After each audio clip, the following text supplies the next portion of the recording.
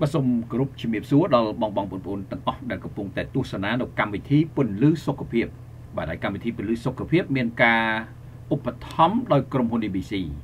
ក្រុមហ៊ុន ABC ជាក្រុមហ៊ុនដែលមានបទពិសោធន៍នៅក្នុងការដោះស្រាយបញ្ហាសុខភាពជាង20ឆ្នាំហើយជាក្រុមហ៊ុនដែលមានចំណេះដឹងគ្រប់គ្រាន់ជាក្រុមហ៊ុនដែលមានផលិតផលគ្រប់គ្រាន់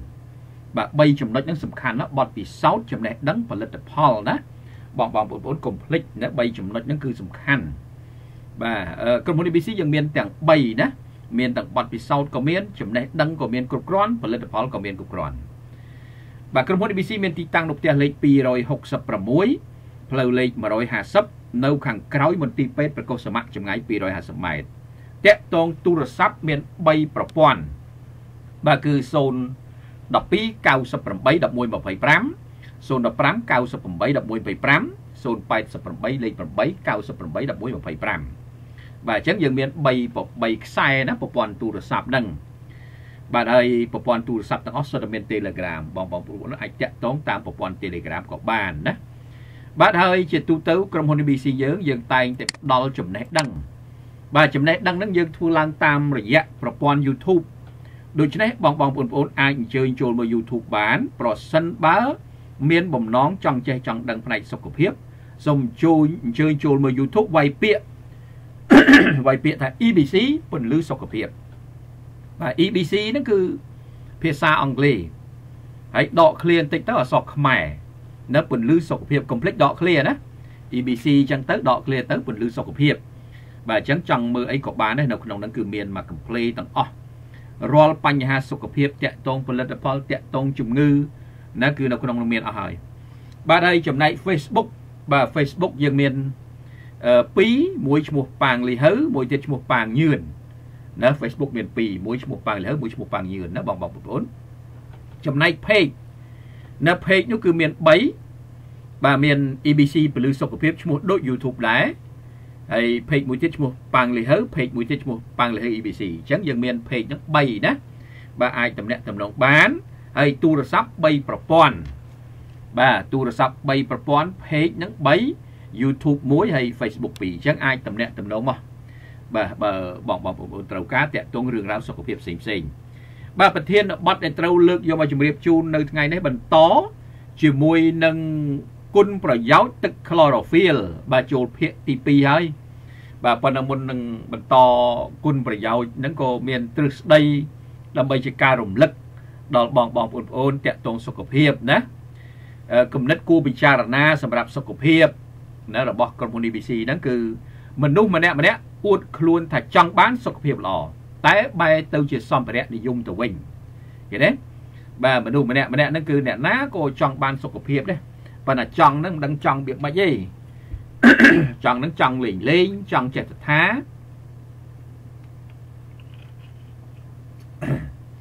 គាត់អត់ចង់ពិតប្រកបណាបាទគាត់ចង់ អញ្ចឹងទៅហើយជាពិសេសចង់បានសុខភាពមកពេលដែលឈឺនឹងទៀតជាប្រហែលអញ្ចឹងជាជាអញ្ចឹងតែឈឺនៅឃើញសុខភាពហើយតែបើអត់ឈឺទេលែងនឹកឃើញណាណាអញ្ចឹងហើយបើក្រៅពីសុខភាពតាក់ទងនឹងសម្ភារៈអីចឹងទៅអូมันខ្លាចទិញទេมันខ្លាចចំណាយទេប៉ុន្តែរឿងសុខភាពមិនហ៊ានទេអានេះជាការសង្កេតជាក់ស្ដែងណាអញ្ចឹងហើយបងបងប្អូនគួរគិតចំណុចហ្នឹង តែមនុស្សម្នាក់ម្នាក់អួតខ្លួនថាចង់បានសុខភាពល្អតែបែរសម្ភារៈនិយមទៅវិញណែវិញចែឃើញទេបាទអញ្ចឹងនឹងគិតគូរពីរឿងសុខភាពព្រោះយ៉ាងណាក៏ដោយសម្ភារៈក៏វាសំខាន់ប៉ុន្តែសុខភាពនេះគឺថាវាមហាសំខាន់ហើយសម្រាប់មនុស្សបាទអញ្ចឹងខ្ញុំបាទសូមចូលបន្តអឺនិយាយអំពីទឹក chlorophyll ណានិយាយពីទឹក chlorophyll ហើយគុណប្រយោជន៍របស់ទឹក chlorophyll នោះមានដល់ទៅ20ចំណុច បាទហើយ chlorophyll ហ្នឹងបានបញ្យល់អ្វីជា chlorophyll ហ្នឹងគឺជាសារជាតិពណ៌បៃតងរបស់រុក្ខជាតិណាហើយ chlorophyll ដែលយកមកធ្វើជាអាហារហ្នឹងគឺថា chlorophyll ពីបន្លែបាទពីរុក្ខជាតិផ្សេងផ្សេងដែលអាចជាអាហាររបស់មនុស្សបានណានឹងយកពីពួកអស់ហ្នឹងអឺប្រយោជន៍ chlorophyll មាន មានដល់ទៅ12ណាបាននិយាយហើយបាទមានដល់12ចំណុចឯនោះហើយពីម្សិលហ្នឹងបាននិយាយ5ចំណុចហើយអញ្ចឹងថ្ងៃនេះត នៅអញ្ចឹង chlorophyll ហ្នឹងគឺទី1អឺតួនាទីរបស់ chlorophyll វាជួយបង្កើតឈាមណាអ្នកខ្វះឈាមអីហ្នឹងស្លេកស្លាំងអីហ្នឹងត្រូវហើយណាទី2វាជួយការពារជំងឺមហារីកណាដើម្បីយកអាសារធាតុគ្រោះថ្នាក់ចេញពីរាងកាយនោះអាហ្នឹងដែលបង្កឲ្យខូច DNA អីដល់បញ្ហាថ្លើមអីហ្នឹងអញ្ចឹងយើងការពារណាជាមួយទឹក chlorophyll ហ្នឹង ទី3ជួយបណ្ដេញជាតិពុលពីរាងកាយណាវាអូសទាញពពួកម៉ូលេគុលជាតិពុលហ្នឹងមិនឲ្យនៅក្នុងខ្លួនទេមិនឲ្យនៅក្នុងឈាមទេកាលណា chlorophyll ចូលទៅណាបាទនឹងអញ្ចឹងបានថាជួយបណ្ដេញជាតិពុលពីរាងកាយទី3វាជួយប្រឆាំងអលាកទី4វាជួយប្រឆាំងអលាកបាទអលាកស្លាក់ណាអញ្ចឹងអ្នកអលាកស្លាក់អីហ្នឹងត្រូវប្រើទៅមិនខុសទេ ហើយទី5ហ្នឹងជួយបណ្ដេញជាតិពុលពីថ្លើមនេះយើងដល់ហ្នឹងពីម្សិលមិញឥឡូវចូលដល់ទី6បាទអញ្ចឹងនេះភាគទី2ចូលចំណុចទី6នៃមុខងាររបស់ chlorophyll បាទ chlorophyll នេះទីទី6ជួយរក្សាភាពវ័យក្មេងណាជួយជួយឲ្យក្មេងជាងវ័យណារក្សាសម្ផស្សណារក្សាភាពវ័យក្មេងជាងវ័យណាបាទន័យថាវ័យយើងប្រហែល 40អីវាធ្លាក់ត្រឹម30អីចឹងណាបាទកាលណាមនុស្សយើងវាស្អាតអឺដោយវាមិនសូវមានជាតិពុលហ្នឹងអាហ្នឹងស្អាតហើយណាហើយឈាមគេគ្រប់គ្រាន់ហ្នឹងស្អាតហើយឈាមគ្រប់គ្រាន់សាច់គេក្រហមហើយបើយើងអត់គ្រប់ទេសាច់ស្លេកណាអញ្ចឹងស្លេកវាអស់ហើយមនុស្សមានស្អាតអីតែស្លេកហើយដោយពាក្យគេនិយាយលេងសើចតែអេកូនហ្នឹងគេសដែរបើសស្លេកណា បាទយើងថាសស្អាតដែរប៉ុន្តែសមិនមែនសស្អាតទេសស្លេកណាអញ្ចឹងវាបាត់ដល់ប្រើ chlorophyll វាសាច់ក្រហមអញ្ចឹងស្អាតណាបាទអញ្ចឹងនឹងចង់បញ្យល់ជូនបងបងប្អូនអញ្ចឹងមនុស្សវាសំខាន់អស់ជាតិពុលហើយនឹងមានឈាមគ្រប់គ្រាន់វាស្បែកអីហ្នឹងវាស្អាតហើយ chlorophyll ជួយប្រឆាំងនឹងភាពវ័យចាស់ដោយគ្រប់គ្រងនិងរក្សាសុខភាពជានិកាតាមរយៈ សារជាតិបណ្ដេញជាតិពុលយ៉ាងសម្បូរបែបនិងសារជាតិម៉ាញ៉េស្យូមវាជំរុញបង្កើនដល់អង់ស៊ីមប្រឆាំងវ័យចាស់និងបង្កើនសុខភាពស្បែកនៅនៅវ័យក្មេងឃើញទេបាទវាជួយជួសជុលវាជួយបង្កើនស្បែកណាវាទូទៅអាហ្នឹងនិយាយចំទោះបីចង់បានមិនចង់ក៏វាត្រូវតែបានដែរតែព្រោះផលិតផលរបស់ហ្នឹងវាធម្មជាតិអញ្ចឹងវាជួយណា បាទជាងនេះទៅទៀតវីតាមីន K នៅក្នុង chlorophyll ជួយសម្អាត និងជួសជុលឡើងវិញ នៅកពេញតម្រង់នោមដោយជួយដល់មុខងារតម្រង់នោមឲ្យល្អឡើងវិញផងដែរឃើញទេបាទអញ្ចឹងនឹង chlorophyll មុខងារវាអញ្ចឹងណាបងបងប្អូនជួយនិយាយចំជួយលាងសម្អាតជាតិពុលនឹងធ្វើឲ្យសាច់ស្អាតហើយណាលាងតម្រង់នំនិយាយថាមិនឈឺតែមិនឈឺសាច់ស្អាតដែរមនុស្សយើងបាទហ្នឹងទី6ទី7 ទី7នេះជួយសម្រួលដល់ការដេកមិនលក់ណា chlorophyll នេះវាមានតួនាទីជួយផ្នែកដេកផងដែរណាបងបងប្អូនណានឹងតាមតួនាទីរបស់វាហ្នឹងណាអញ្ចឹងគួរប្រើទៅឲ្យឲ្យជួយសម្រួលជួយធម្មជាតិមិនមែនជួយដូចថ្នាំថ្នាំថ្នាំងួយដេកទេកុំច្រឡំអញ្ចឹងណាអត់ទេមិនមែនថ្នាំងួយដេកទេនេះបាទ chlorophyll មានឥទ្ធិពលជួយឲ្យស្ងប់ដល់ប្រព័ន្ធប្រសាទណា និងជួយក្នុងការកាត់បន្ថយរោគសញ្ញាដេកមិនលក់គេណាកាលណាប្រព័ន្ធប្រសាទយើងវាស្ងប់ល្អដេកលក់អីមនុស្សបាទអ្នកដេកអត់លក់ហ្នឹងដោយសារប្រព័ន្ធប្រសាទគាត់ដើរណាគាត់គាត់ពន់ប្រសាទគាត់អត់មាននៅមួយកន្លែងប៉ុណ្ណឹងកម្រើករហូត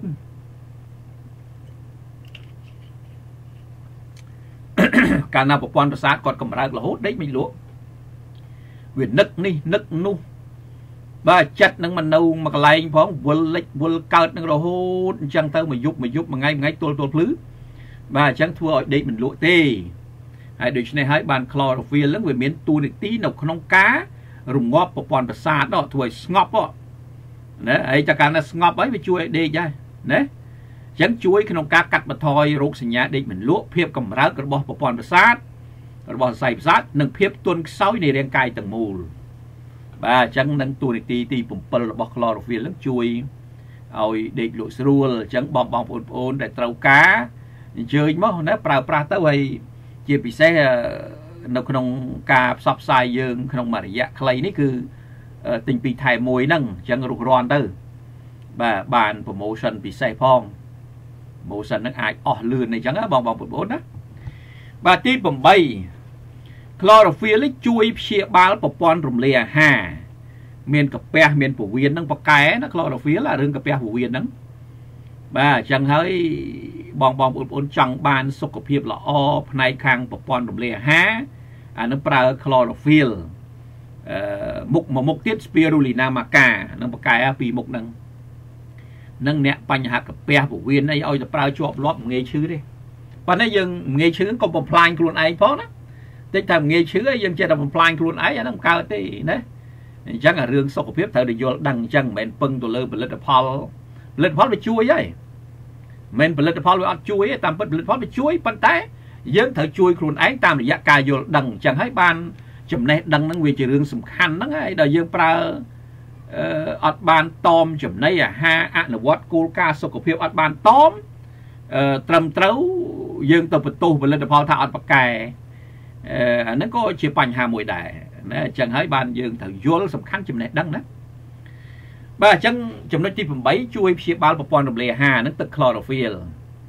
chlorophyll ជំរុញបង្កើនការរំលាយអាហារដោយរក្សាបាក់តេរីល្អក្នុងពោះវៀននិងជំរុញបង្កើនចលនាពោះវៀនណា chlorophyll ណាបាទវាដើរតួជាថ្នាំធម្មជាតិសម្រាប់ប្រព័ន្ធពោះវៀននិងជួយឲ្យជាសះស្បើយ ឡើងវិញនៅជាលិកាពោះវៀនដែលមានរបួសឃើញទេបាទអញ្ចឹងហើយអ្នកដែលមានរបួសស្នាមតបៅខាងក្នុងហ្នឹងសិតតែជួយហើយអឺគឺរបួសស្នាមជាលិកាដែលខូចខាតដោយកតាផ្សេងផ្សេងហ្នឹង chlorophyll ផឹកទៅវាជួយជួសជុលបងបងប្អូនបាទអាហារដែលខ្វះសារជាតិបន្លែបៃតងនឹងរួមមានសាច់ក្រហមច្រើនបង្កើនភាពគ្រោះថ្នាក់ដល់ពោះវៀនធំច្រើនបំផុតឃើញទេ អាហារយើងតើអត់មានបន្លែបៃតងអីសពថ្ងៃអាហារភាគច្រើននឹងអត់ហ្នឹងឯងណាហើយយើងហូបតែសាច់ណាហូបតែសាច់អាអាបន្លែអីហ្នឹងមិនសូវមានទេអញ្ចឹងហើយបានមនុស្សឈឺកាពះពោះវៀនហ្នឹងមិនឈប់មិនឈរទេបាទមនុស្សយើងរងថ្ងៃឈឺកាពះពោះវៀនហ្នឹងសឹងតែទាំងអស់គ្នានោះឯងហើយចុះបើយើងអត់មានពពួកបន្លែបៃតងផងហ្នឹងបើអត់មានពួកបន្លែបៃតងបានន័យថាវាអត់មាន chlorophyll ហ្នឹងឯងហើយអញ្ចឹងបានអីជួយផ្សះ សពថ្ងៃយើងចេះសពថ្ងៃរាងកាយរបស់យើងអាលាកនឹងបើយើងនិយាយក្បួនខ្នាតសុខភាពពិតប្រាកដរាល់ថ្ងៃអ្នកណាក៏លាកដែរប៉ុន្តែកម្លាំងផ្សះហ្នឹងវាវាកើនទៅវិញហើយកម្លាំងផ្សះវាបានមកពីណាអ្នកបានមកដូច chlorophyll អញ្ចឹងណាណាអាយើងហូបអាហារដែលអត់មានបន្លែបៃតងអាហារសាច់ហ្នឹងវាធ្វើទុកទៅដល់ប្រព័ន្ធរំលាយអាហារខ្លាំងណាស់ណាធ្វើទុកទៅដល់ប្រព័ន្ធរំលាយអាហារប៉ុន្តែដោយសារ អាហារដែលវាមានសារជាតិល្អល្អទៅជួយផ្សះមកវិញអញ្ចឹងកាលណាវាលាកអាហារនេះវាទៅផ្សះអាលាកផ្សះអាលាកផ្សះវាធ្វើឲ្យតុល្យភាពគ្នារវាងអាលាកនិងផ្សះដូច្នេះយើងជាប៉ុន្តែនៅពេលណាដែលយើងខ្វះអាសារជាតិដែលជួយផ្សះនេះយើងគិតតែពីអាលាកហើយអាការផ្សះអត់មានណារាងកាយយើងធ្លាក់ចុះការផ្សះរាងកាយយើងខ្វះខាតការផ្សះជាមួយនឹងផលិតផលដោយ chlorophyll ជាដើមឡាក់អញ្ចឹងយើងកើនជំងឺលាកជាប់ហ่ะឃើញទេ អាលាកបន្តិចថ្ងៃមួយថ្ងៃបន្តិចមួយថ្ងៃបន្តិចមួយថ្ងៃបន្តិចយូរផ្ទុះក្ដុងទៅធំមកដោយណាលាកយូរយូរយូរយូរព្យាបាលអត់ត្រូវទៅដបៅណាអាហ្នឹងវាអញ្ចឹងឯងជាទូទៅវាដេញតគ្នាអញ្ចឹងទៅមហារាជអីជាដើមឡាក់អញ្ចឹងទៅណាបើអញ្ចឹងអាហារដែលខ្វះសារជាតិបន្លែបៃតងរួមមានសាច់ក្រហមច្រើនណាមានបង្កើនភាពគ្រោះថ្នាក់ដល់ពោះវៀនធំខ្លាំងណាស់ តាមការសិក្សាស្រាវជ្រាវបង្ហាញថាវាជួយសម្រួលដល់ការសម្អាតពោះវៀនធំ ដោយទប់ស្កាត់នៅការពុលបង្កឡើងដោយគីមីនិងសាច់និងការពារសាច់ដុះក្នុងពោះវៀនឃើញទេបាទ chlorophyll ហ្នឹងចឹងណាបងបងប្អូនសិក្សាទៅគេឃើញថាជួយសម្អាតពោះវៀនធំទប់ស្កាត់ការពុលណាដោយបកឡើងដោយសារជាតិគីមីជាតិពុលណាការពារសាច់ដុះមិនអោយ កើតមានណាបាទនឹងប្រើប្រាស់មិនខុសទេហើយវាមានប្រសិទ្ធភាពជួយសម្រួលដល់ទិលលមួកនិងហើមពោះផងដែរ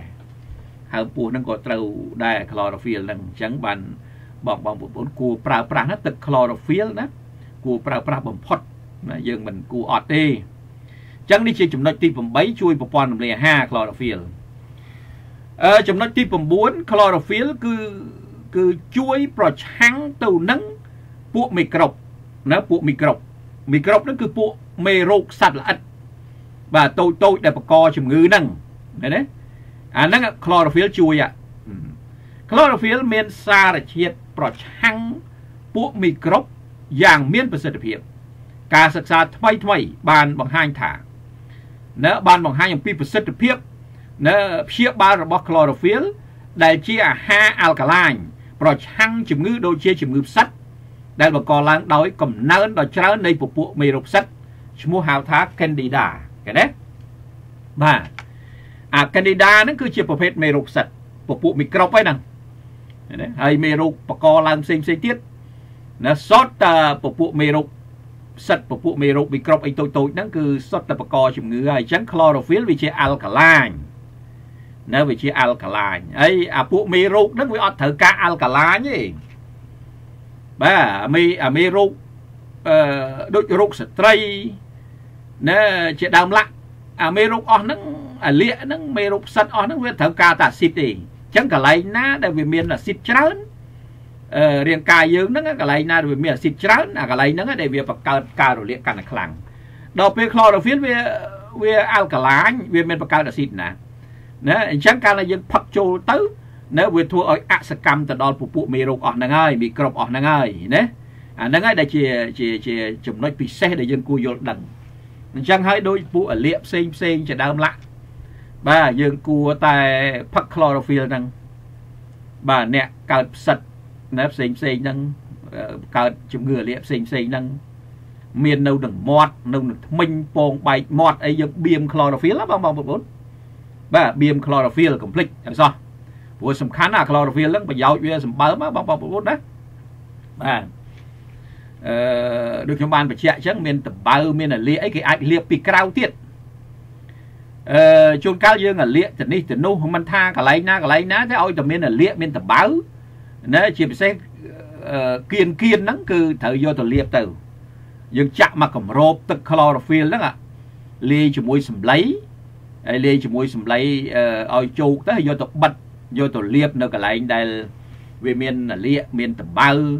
ទោះបីមិនមិនមានក៏គេអាចលាបដែរព្រោះដើម្បីអីដើម្បីឲ្យបាក់តេរីនៅទៅនឹងវាងាប់វាអសកម្មនៅព្រោះអាដូចខ្ញុំបានបញ្យល់អញ្ចឹងថា chlorophyll វាជា alkaline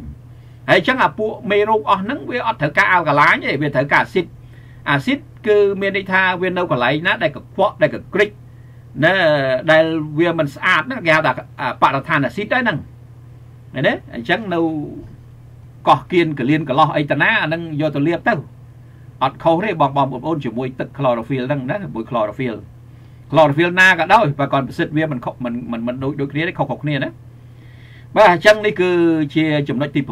9ចំណុចទី10បាទ chlorophyll មានទូនីតិពង្រឹងប្រព័ន្ធការពារឲ្យខ្លាំងជាងមុនណាមានទូនីតិពង្រឹងប្រព័ន្ធការពារ ណាស្ដាប់ឲ្យតន់បងបងប្អូនណាប្រព័ន្ធការពារយើងហ្នឹងយើងដឹងហើយសម្រាប់ការពារមេរោគការពារបាក់តេរីការពារស្អីផ្សេងផ្សេងដើម្បីកុំឲ្យវាវាយប្រហារមករាងកាយយើងបង្កើតជំងឺណាអញ្ចឹង chlorophyll មានទូនីតិពង្រឹងអាហ្នឹងកាលណាយើងផឹកជាប់ដូចខ្ញុំបានលើកឡើងដដែលឡើងតាមពិតរឿងដដែលកាលណាយើងផឹកបានជាប់រាងកាយយើងវាសម្បូរទៅដោយអាល់កាឡាញណាកាលណារាងកាយយើងវាងាកទៅរកអាល់កាឡាញ មេរោគចូលមិនបានទេព្រោះមេរោគវាចូលបាន គឺ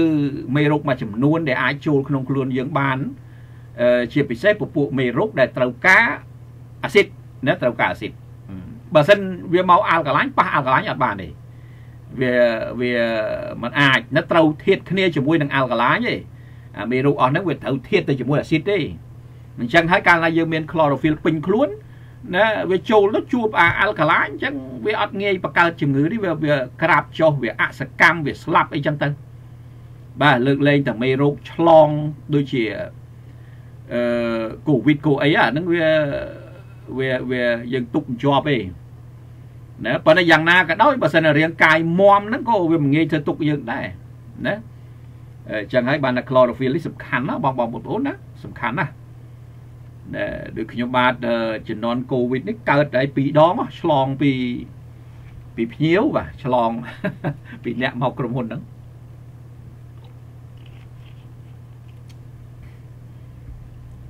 បាទ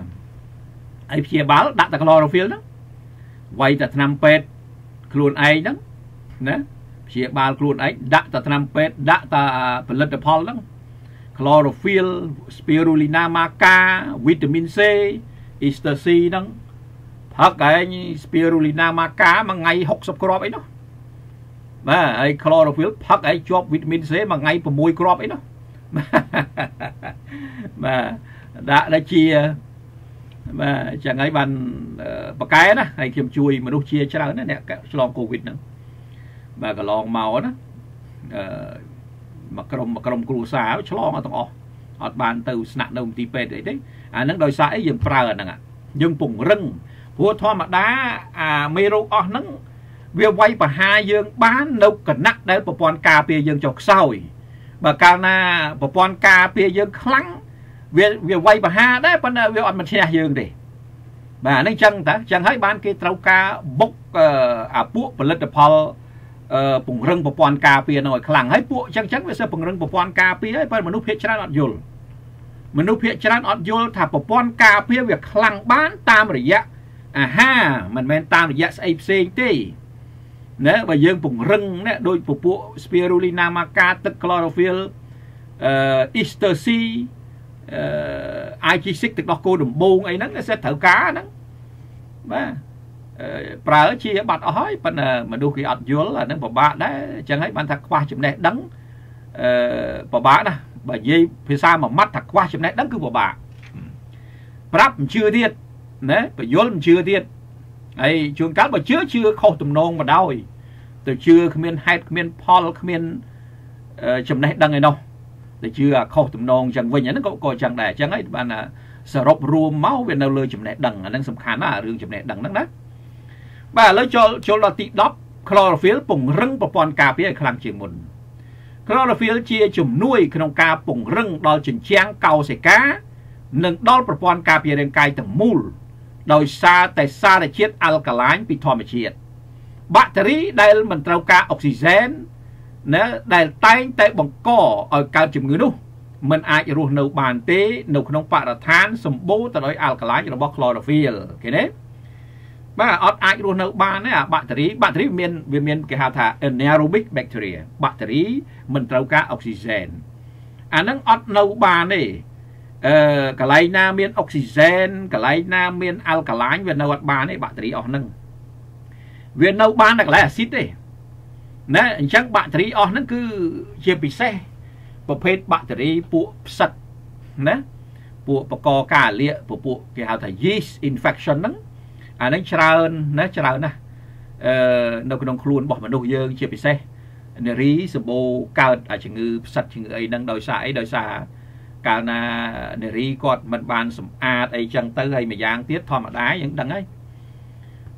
នៅកន្លែងគៀនគៀនកន្លោះកលៀនហ្នឹងគឺថាវាវាច្រើនតែបកកកាលាអញ្ចឹងហើយបានយើងត្រូវការធ្វើម៉េចឲ្យមានអុកស៊ីហ្សែននិងមានអាល់កាឡាញអញ្ចឹងបាន chlorophyll វាមានតួនាទីអញ្ចឹង អាហ្នឹងខ្ញុំចង់បញ្យល់ដូចដដែលអញ្ចឹងណា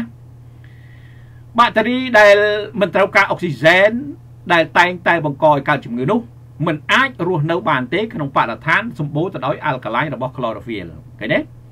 ព្រោះ chlorophyll អាល់កាឡាញសុទ្ធហ្មង chlorophyll មិនមែនជាអាស៊ីតទេបងបងបងប្អូនណាអាល់កាឡាញសុទ្ធបាទអញ្ចឹងហើយបានយើងត្រូវការចាំបាច់ជាងនេះទៅទៀតវាបង្កឲ្យកើតបង្ជាងនេះទៅទៀតវាជាអ្នកបង្កើតអុកស៊ីហ្សែនដែលជួយលើកកម្ពស់សមត្ថភាពរាងកាយប្រឆាំងជំងឺនិងបង្កើតកម្រិតធម៌ពល និងបន្ថែមល្បឿនឲ្យជាសះស្បើយបាទអញ្ចឹង chlorophyll នេះសូមបញ្ជាក់ជូនបងប្អូនបានជ្រាបអញ្ចឹងថាវាវាជួយពង្រឹងសមត្ថភាពរាងកាយឲ្យខ្លាំងណាអ្នកដែលចង់ឆាប់ជាពីជំងឺបើកើតហើយហ្នឹងប្រើ chlorophyll ហ្នឹងត្រូវហើយអត់ខុសទេបាទទី11 ទី11គឺ chlorophyll មានតួនាទីបំបត្តិក្លិនមាត់បំបត្តិក្លិនមាត់ណាអញ្ចឹងបងបងប្អូនស្ដាប់ទៅក្លិនមាត់វាកើតឡើងដោយសារអីដោយសារមួយផ្នែកនេះគឺមាត់មួយផ្នែកនេះពោះវៀនធំមួយផ្នែកធំគឺពោះវៀនធំណាបាទអញ្ចឹងហើយបានគោលការណ៍សុខភាព គេត្រូវសម្អាតពោះវៀនធំសម្អាតមាត់ណាសម្អាតមាត់សម្អាតពោះវៀនធំពីរហ្នឹងដែលត្រូវធ្វើណា អាហ្នឹងដើម្បីបាត់ក្លិនមាត់ហើយ chlorophyll វាជួយប្រព័ន្ធរំលាយអាហារហ្នឹងហ្មងបាទវាជួយប្រព័ន្ធរំលាយអាហារអញ្ចឹងដូច្នេះកាលណាប្រព័ន្ធរំលាយអាហារហ្នឹងវាល្អអាហ្នឹងក្លិនមាត់ក៏វាគ្រាន់បើដែរក៏វាអត់សូវបញ្ហាទេចំណាំមើលទៅអ្នកដែលមានបញ្ហាក្លិនមាត់ខ្លាំងគឺអ្នកនោះមានប្រព័ន្ធរំលាយអាហារខ្លាំងហើយ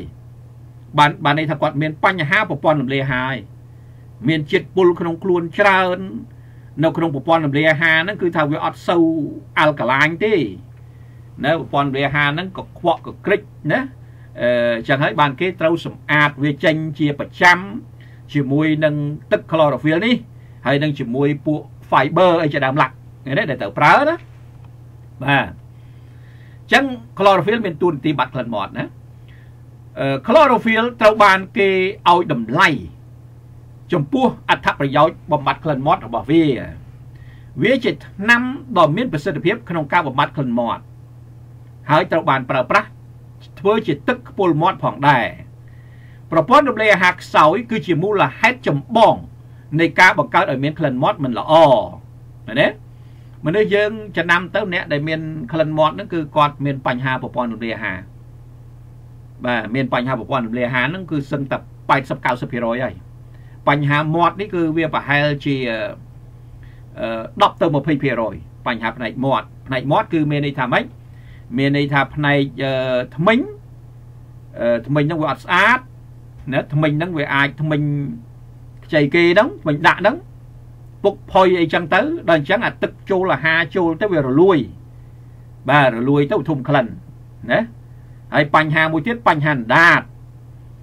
បាទមាត់វាវាវាគិតតែអណ្ដាតទៅអីហ្នឹងណាអណ្ដាតហ្នឹងយើងអត់បានកោសសម្អាតទេអឺ ព្រោះអាហារយើងវានៅអណ្ដាតហ្នឹងនៅពេលដែលយើងទទួលទានបើសិនយើងដោះត្រឹមតែថ្មិញ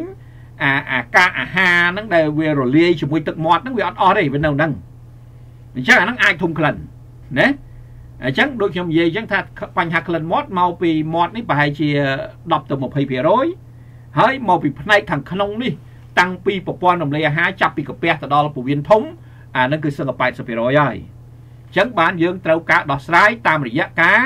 ដែលយើងត្រូវសម្អាតពោះវៀនធំផងហើយយើងត្រូវប្រើប្រាស់ទឹក chlorophyll ដើម្បីសម្អាតតាំងពីលើដល់ក្រោមផងឃើញទេបាទហើយយើងត្រូវកោសអណ្ដាតនឹងជាប្រចាំថ្ងៃហ្នឹងអាហារព្រឹកល្ងាចព្រឹកល្ងាចហ្នឹងទៅ ដើម្បីអស់កាកសំណល់អាហារហ្នឹងណែនេះសូមបញ្ជាក់ជូនបងបងប្អូនឲ្យបានជ្រាបអញ្ចឹងណាបាទអញ្ចឹងនឹងស្ដាប់ឲ្យតាន់ទី11 chlorophyll មានប្រសិទ្ធភាពក្នុងការបំបត្តិក្លិនមាត់ណា chlorophyll ត្រូវបានគេឲ្យតម្លៃចំពោះអត្ថប្រយោជន៍បំបត្តិក្លិនមាត់របស់វា វាជាថ្នាំដ៏ប្រសិទ្ធភាពក្នុងការបំបត្តិក្លិនមាត់ហើយត្រូវបានគេប្រើប្រាស់ធ្វើជាទឹកខ្ពុលមាត់ផងដែរ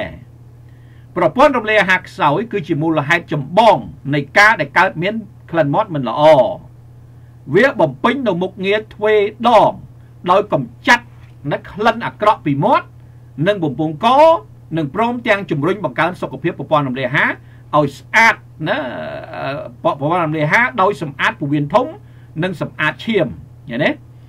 បានន័យថា chlorophyll នេះវាចេះ chlorophyll នេះវាសម្អាតតាំងពីលើដល់ក្រោម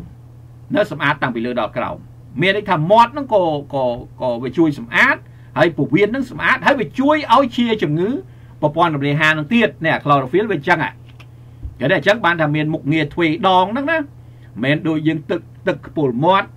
ទឹកខ្ពុលមាត់យើងធម្មតាហ្នឹងអាហ្នឹងគ្រាន់តែខ្ពុលនៅមាត់ហ្នឹងប៉ុន្តែវាមានទៅបានជួយសម្អាតពោះវៀនណាយើងមានទៅលេបចូលក្នុងណាលេបចូលក្នុងកាត់ពោះវៀនខ្ទេចខ្ទីអស់ទៅមិនដូច chlorophyll ណាណាអញ្ចឹងបាន chlorophyll នេះគឺថាអឺយើងហៅថា double benefit ណាផលប្រយោជន៍ពីរដងអាហ្នឹងបាទនេះដូច chlorophyll ហ្នឹងណាទឹក chlorophyll ខ្ញុំទទួលទានរងថ្ងៃ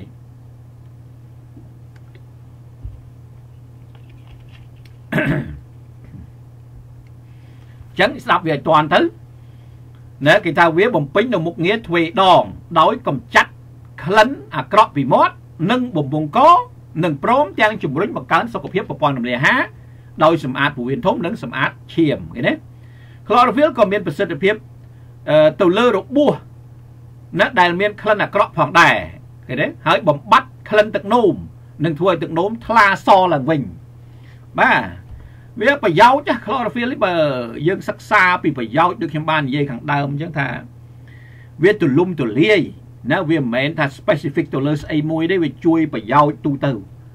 chlorophyll វាប្រយោជន៍អញ្ចឹងណាចង់បញ្ជាក់ជូនបងបងប្អូនបានជ្រាបអញ្ចឹងណា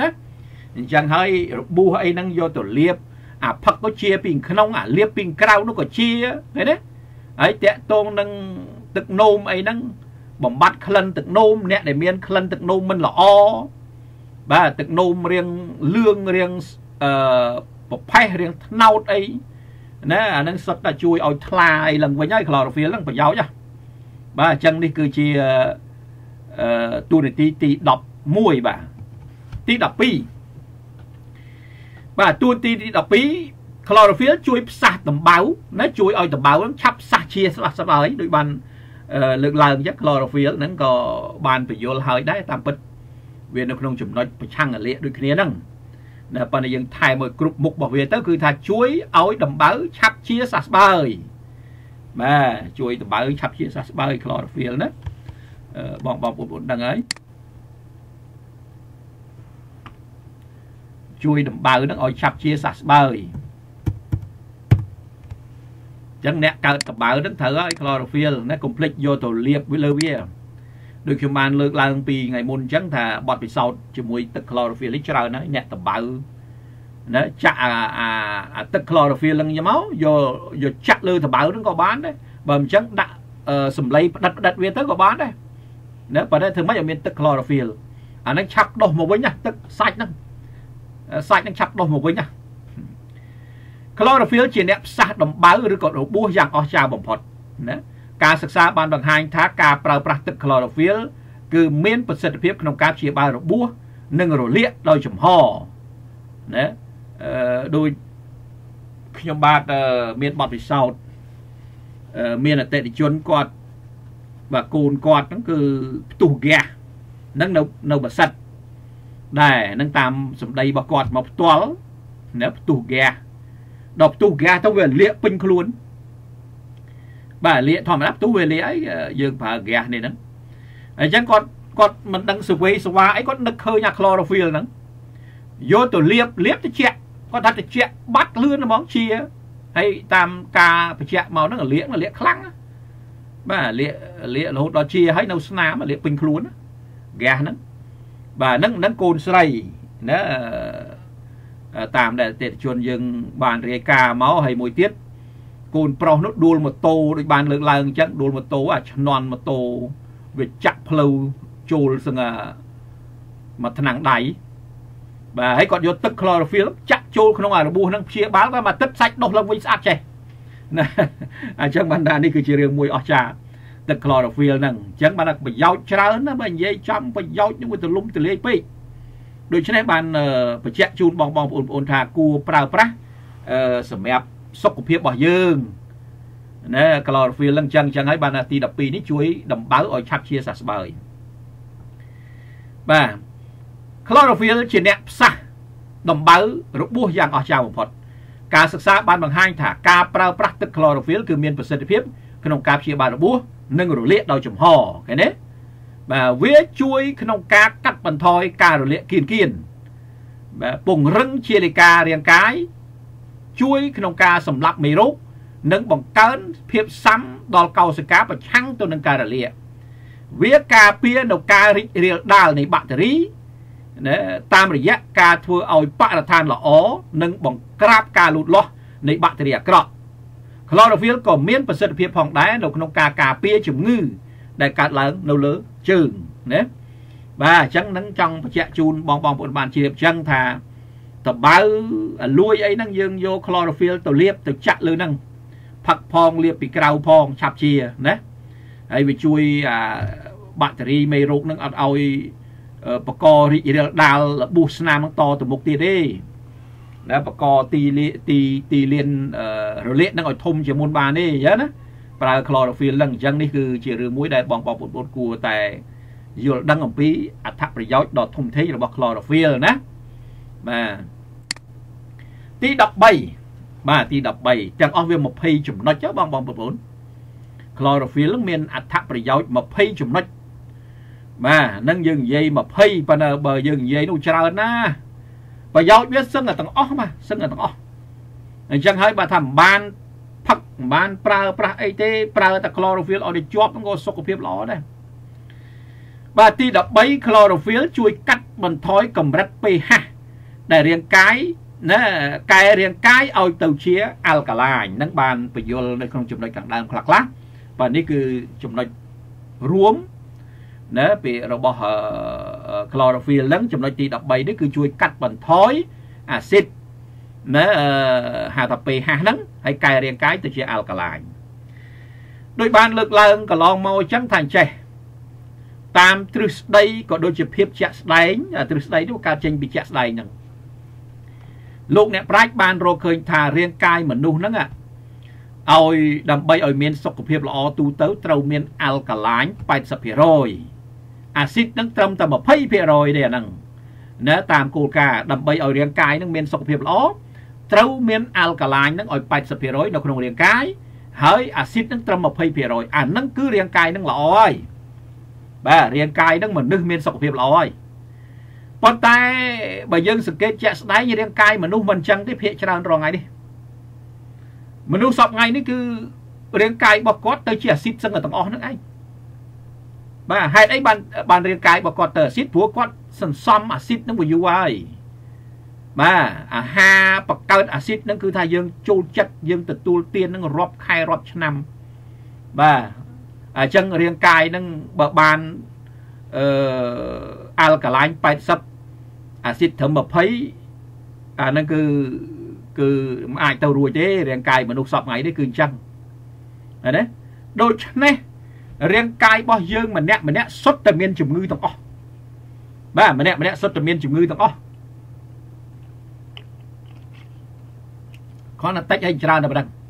ណាដោយសារអីដោយសារលក្ខខណ្ឌដែលយើងត្រូវគោរពឲ្យបានថាអាល់កាឡាញ80 អាស៊ីត20ហ្នឹងវាអត់អាចធ្វើបានទេហើយมันអាចនឹងគោរពបានហើយมันយល់ទៅទៀតมันដឹងมันចេះទៅទៀតអញ្ចឹងវាมันអាចទៅរួចណាអត់អាចទៅរួចទេបងបងប្អូនណាអានេះជារឿងមួយដែលយើងគួរពិចារណាហេតុដូច្នេះបានមនុស្សចេះតែឈឺមិនឈប់មិនឈរឥឡូវនេះបងបងប្អូនយល់ទៅតាមទ្រឹស្ដីរបស់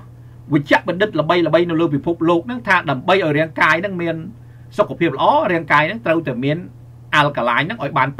80%អាស៊ីតត្រឹមតែ20%បានហើយណាអឺដូច្នេះយើងត្រូវធ្វើម៉េចដើម្បីឲ្យមានអាល់កាឡាញ80%ក្នុងរាងកាយយើងរជំនួយខ្លះទៅបើយើងមិនរជំនួយទេ យើងអត់មានអីជួយបានទេព្រោះធម្មតាមនុស្សម្នាក់ម្នាក់អាហារយើងចូលចិត្តតែអាហារអាស៊ីតហ្នឹងអាហារអាស៊ីតមានអីមានអាហារឆ្ងាញ់ឆ្ងាញ់ហ្នឹងមានសាច់មានផ្អាប់មានកែច្នៃមានវិចខ្ចប់ណាអាហារប្រភេទសាច់អីទាំងអស់ហ្នឹងសូត្រតែអាហារបង្កើតអាស៊ីតដែរហ្នឹងអាហារផ្អាប់ណាអឺទាំងអស់ហ្នឹងសុទ្ធតែបង្កើតអាស៊ីតហើយអត់មានអាល់កាឡាញទេអាល់កាឡាញគឺអាហារបែបលក្ខណៈរុក្ខជាតិបៃតងអាហ្នឹងអាហារអាល់កាឡាញហើយប៉ុនយើងមើលមើលយើងបានរុក្ខជាតិបៃតង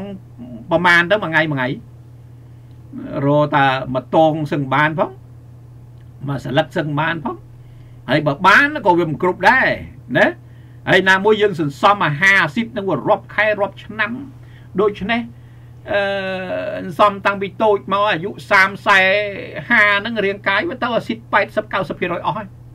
អញ្ចឹងទៅរកគ្រប់លក្ខខណ្ឌឯណាបានកើតអឺគ្រប់មិនបានទេដូច្នេះតលតែយើងជួយខ្លួនឯងខ្លះទោះបីវាមិនបានអញ្ចឹងក៏ជួយបន្ថយអាស៊ីតខ្លះតាមរយៈការប្រើប្រាស់ទឹក chlorophyll នេះ ប្រើអាហារបំពន់អីមួយចំនួនហ្នឹងដែលសុទ្ធតែជាអាល់កាឡាញហ្នឹងឃើញទេហើយមនុស្សអត់យល់តែចំណុចហ្នឹងច្រើនណាសពថ្ងៃអត់យល់ទេ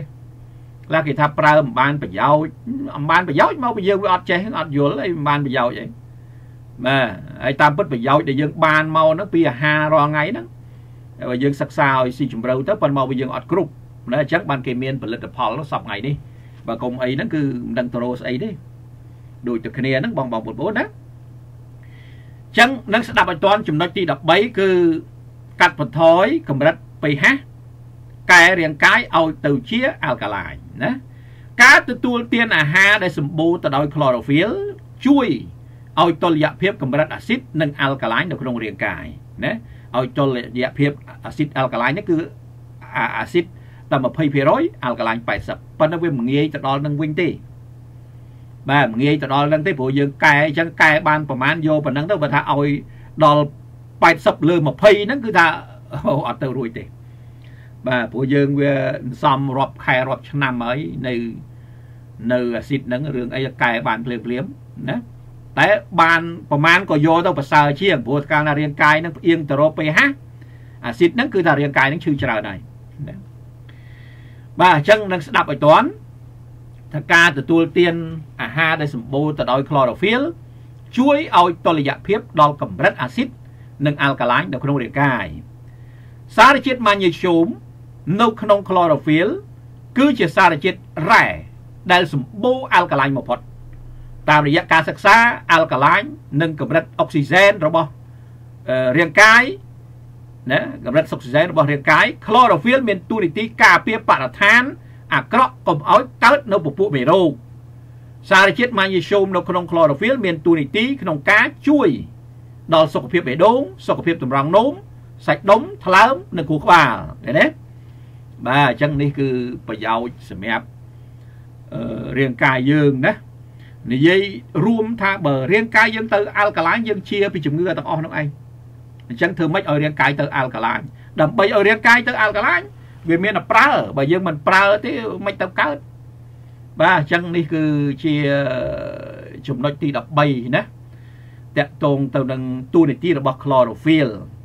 ហើយបងបងប្អូនបានស្ដាប់បានយល់ហើយត្រូវការអញ្ជើញប្រើប្រាស់ទៅប្រើមកផ្ទះទៅព្រោះឥឡូវកម្មវិធី promotion ទិញ2ថែ1ទិញ2ថែ1 chlorophyll បាទរុះរាន់តាន់ពេលវេលាណាបាទអញ្ចឹងឥឡូវឃើញថានីតិច្រើនហើយមិនបន្តទៀតទេព្រោះចំណុចទី13ហើយយើង20ចំណុចអឺ chlorophyll ហ្នឹងត្រូវចប់ នៅស្អែកណាបាទអញ្ចឹងយើងមាន3ភាគសម្រាប់ទូនីតិ chlorophyll បងបងប្អូនអឺទស្សនាឲ្យទស្សនាទៀតទៅដើម្បីឲ្យយល់ច្បាស់នៅអំពីទូនីតិ chlorophyll នេះព្រោះវាមានប្រយោជន៍ធំធេងសម្រាប់រាងកាយណាបាទអញ្ចឹងបើសិនតែត្រូវការសូមអញ្ជើញទំនាក់ទំនងមកបាទគឺលេខទូរស័ព្ទរបស់ក្រុមហ៊ុនមានអីមានមក complain តាក់ទងមកតាម page តាមទូរស័ព្ទតាមអីហ្នឹងបានទាំងអស់ បាទអឺហើយកុំភ្លេចបានទស្សនាឲ្យជួយ share តតគ្នា ដើម្បីឲ្យបងបងប្អូនប្អូនដតីគាត់បានដឹងបានយល់ណាហើយជួយណែនាំឲ្យបានស្ដាប់បានអីចឹងទៅវាជួយឲ្យមានមនុស្សមានចំណេះដឹងព្រោះសំខាន់ណាស់ចំណេះដឹងហ្នឹងដូច chlorophyll ហ្នឹងបើអត់យល់ដឹងហ្នឹងគឺថាតាមសួរហ្នឹងគេឲ្យប្រើមានប្រើផងដឹងស្អីផងណាហើយតែបើអ្នកគេយល់ហ្នឹងគេរលុយប្រើមិនបានផងណាបាទអញ្ចឹងខ្ញុំបាទសូមបញ្ចប់ភាគទី2ប៉ុណ្ណឹង ហើយជួបគ្នានៅភាគទី3បន្តទៀតហើយតាក់ទងតាមទូរស័ព្ទប្រសិនបើបងបងប្អូនត្រូវការពីគ្រូច្បល់ផ្នែកខាងសុខភាពណាមួយបាទអាចតំណាក់តំណងណា